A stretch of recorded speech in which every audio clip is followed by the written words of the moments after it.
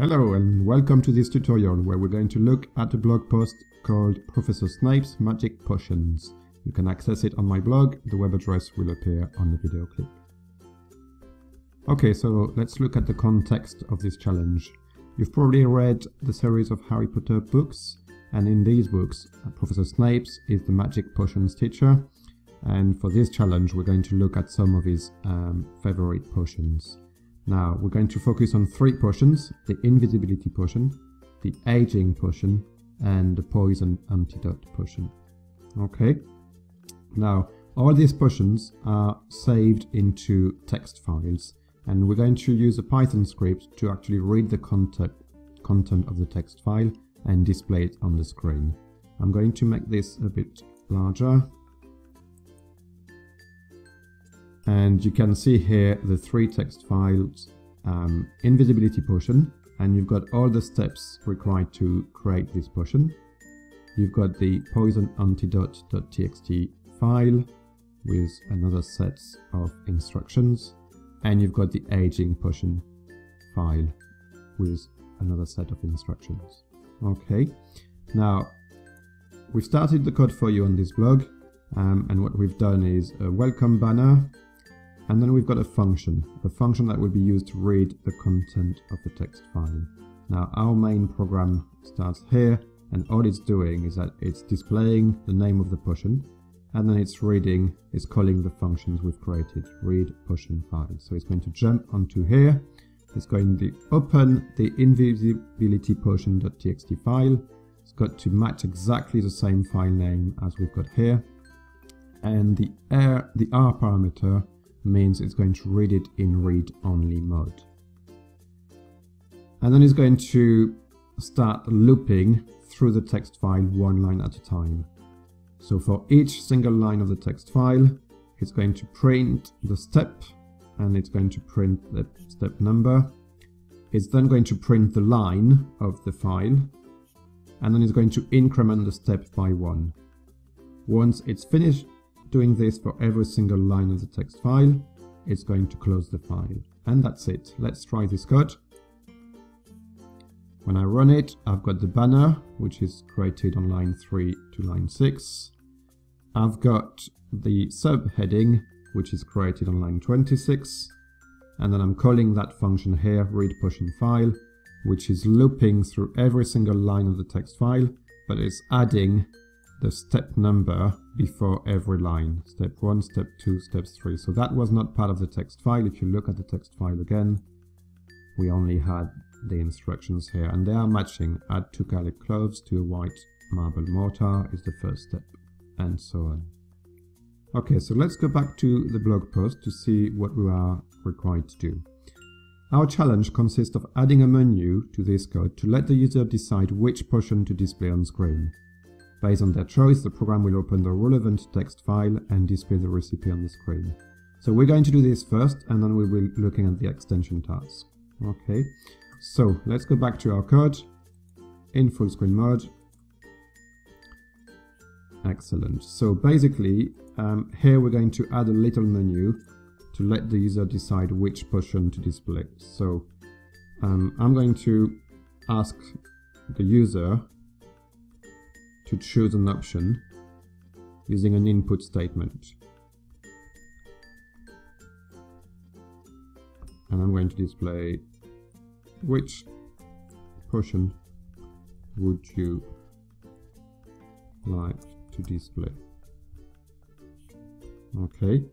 Um, and I'm going to say choose an options between 1 and 3. Now I need to let them know what are the three options um, so I'm going to display a little menu at the top. So I'm going to use the print statement for that. Print, option 1 is invisibility potion.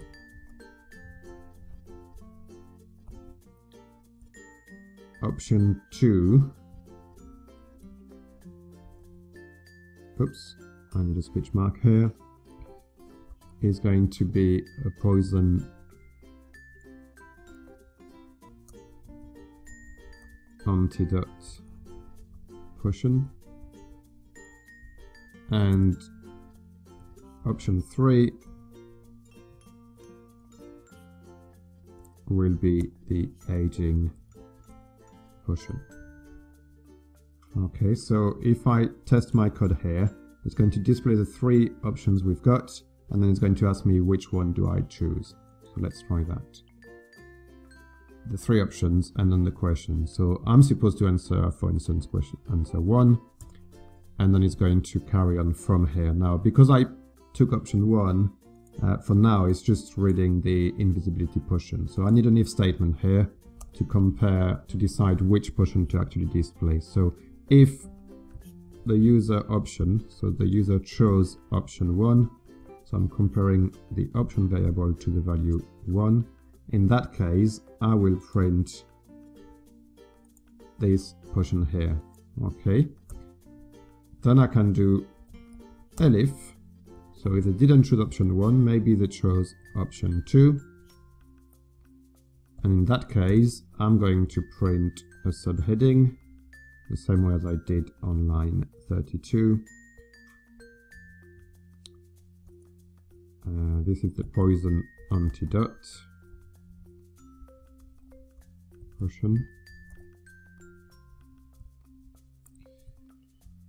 Um, and then I will have to write a function to actually read the content of that text file. I haven't done that yet, so I'm going to create my third options and I'm going to copy and paste here. If option is 3, I'm going to display the aging potion.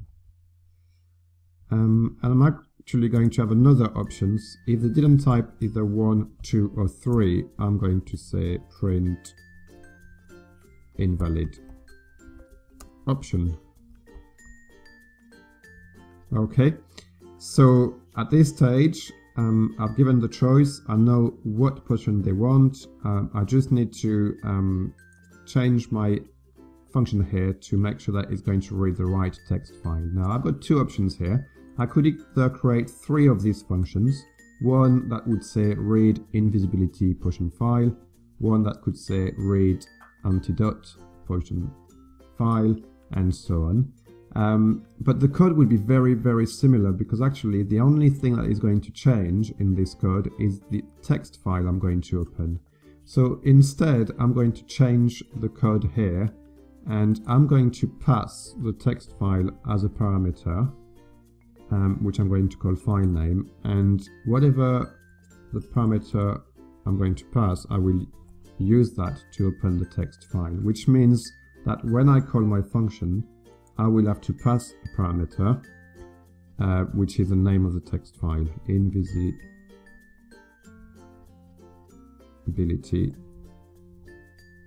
dash potion.txt, um, which means I can now use the same function for all my options. I need to make sure it's lined up properly. Uh, but this time I'm just changing the name of the file I want to open and it's got to match the name of the file um, of my text files and Python is case sensitive poison antidote. And then I'm going to copy that line of code again, this time for option 3. And the text file this time is the aging portion. So I'm going to remove invisibility, replace it with aging. Now I should be able to test this and see if it works. So let's run this code. Uh, which portion would you like to display? I'm going to display option 2 for change.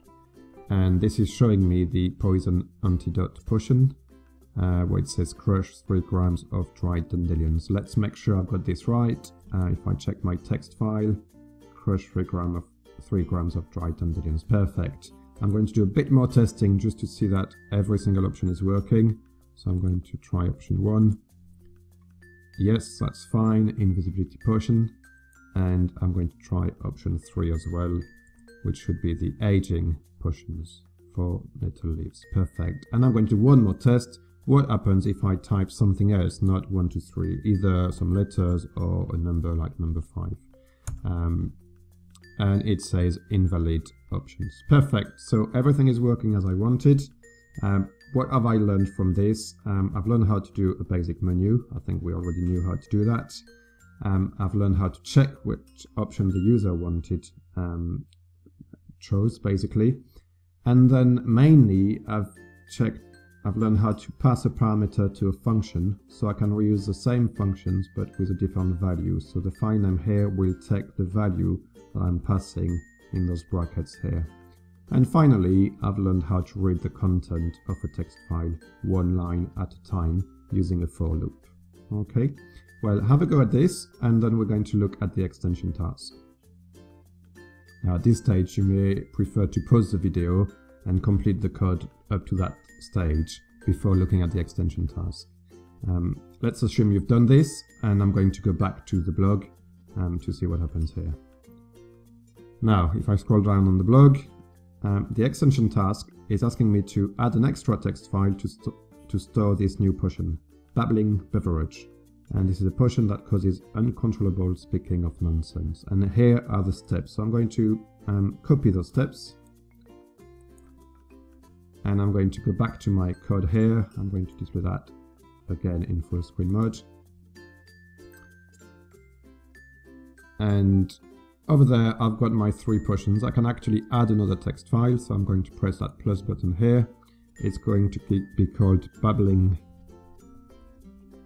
potion dot txt because it's a text file. Enter. And in this, I'm going to paste all the steps that I copied from the blog.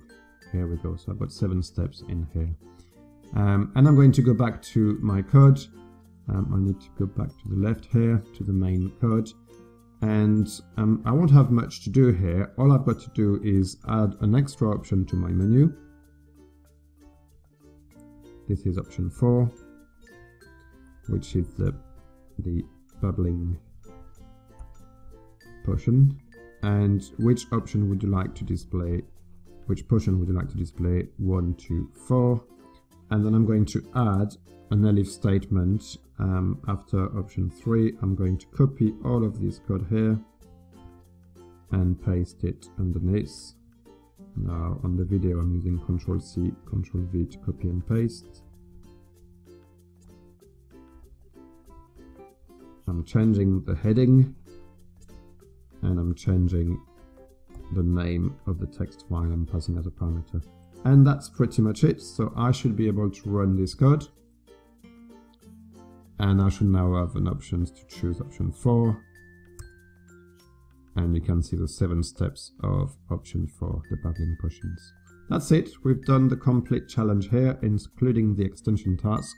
I'll let you have a go at it and if you want to you can actually create an extra file of your choice. This time you may want to write your own potion and change your menu, change your input question here and add an extra um, elif statement to cater for any new potions you create. Enjoy! Goodbye for now.